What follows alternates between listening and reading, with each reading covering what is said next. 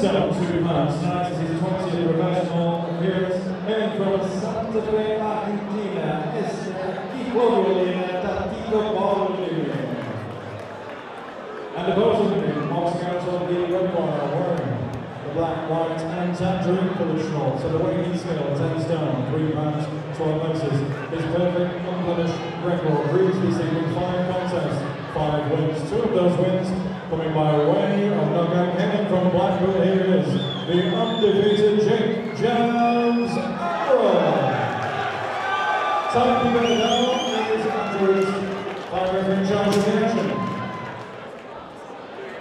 Six, three,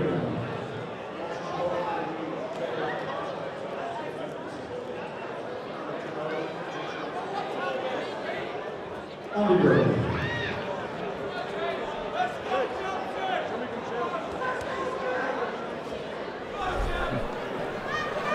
MC Michael Passwell has got out of the ring here. Seconds out, round one. Yeehaw! Boom, boom. Shh, Get the room. Round one of the schedule six threes.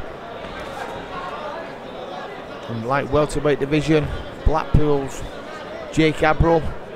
From the red corner, comes from the blue corner. Argentina's Claudio Baldomir. Abrol, one of VIP's top prospects, one to watch. And straight away Baldomir, it's a deck. Will he cover? Don't think he's going to. think it's all over. Great finish there by Jake Campbell before we got going. Knockout round one. Yoo-hoo, boom.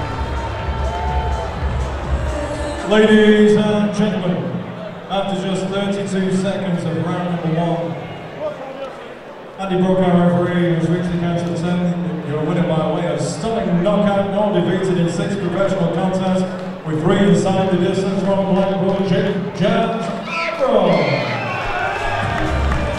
We appreciate please. For all boxing info, news and latest interviews, amateur and pro, across the north, click and subscribe.